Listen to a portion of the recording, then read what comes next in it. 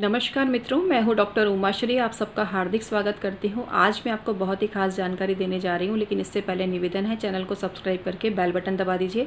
अपनी कुंडली का परामर्श भी आप ले सकते हैं, मात्र इक्कीस सौ में एक सवाल पूछकर। आज मैं आपको बताने जा रही हूँ बहुत बहुत बहुत खास बात। आज मैं बताने जा रही हूँ कि अगर आपका अच्छा वक्त आने वाला होता है तो कुछ आपको इशारा भगवान कर देते हैं।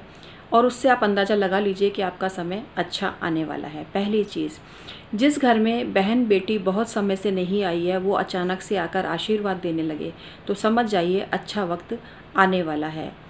नंबर दो, यदि आपको सपने में आए दिन अपने पितृ दिखते हैं और वो प्रसन्न दिखते हैं तो समझ जाइए आपके लिए कुछ अच्छा काम होने वाला है।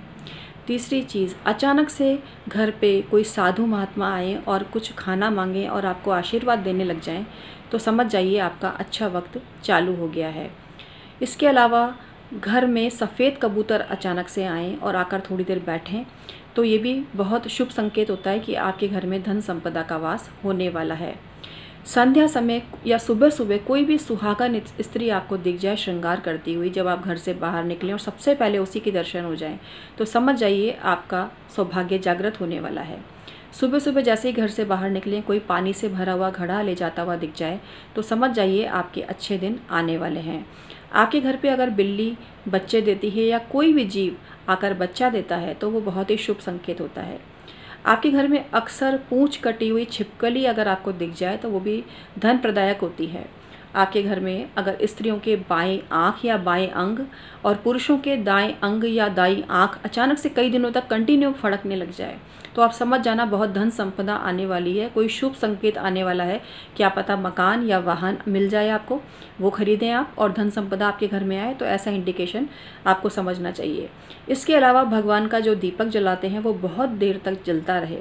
जितना घी तेल पहले डालते थे, उससे ज़्यादा समय तक जलता रहे। तो समझ जाइए, कोई बहुत ही शुभ सूचना आपको मिलने वाली है और आपके घर में ज़बरदस्त धन के आगमन होने वाले हैं। घर के बाहर गाय आकर अचानक आपके गेट के समक्ष गोबर कर दे तो वो भी बहुत ही ज़्यादा शुभ संकेत होता है। रात्रि को आपको अचानक से शौच के और टॉयलेट के सपने आने लग जाएँ तो समझ जाना, हंड्रेड परसेंट पैसा आना तय है, कहीं से बहुत ज़्यादा पैसा आपके पास आएगा। इसके अलावा आपके घर में सुबह सुबह कोई अगर बंदर गुठली डालकर चला जाए तो ऐसा कहा जाता है कि व्यापार में लाभ होता है। गुठली मतलब आम की गुठली अगर डाल जाए तो ऐसा समझा जाता है कि व्यापार में लाभ होगा। और ऐसे मनुष्य को कि किस्मत जगने वाली है। आपके घर में ऐसा पौधा जो सूख गया था, अचानक से उसमें हरे पत्ते फिर से आने लग जाएँ। ऐसा पेड़ पौधा जिसमें कि फल या फूल नहीं आते थे, अचानक से आने लग जाएँ तो ये भी बहुत ज़्यादा शुभ संकेत है। इसके अलावा जब भी आप भगवान की पूजा करते हैं तो आपका मन उच्चाटन नहीं खाता। आपका मन बार बार करता है कि उनके पवित्र मंत्रों का जाप करें। आपकी धार्मिक आस्था और ज़्यादा बढ़ती जा रही है। आपको भगवान की पूजा करने में, मंत्र जाप करने में अत्यंत आनंद की अनुभूति होती है।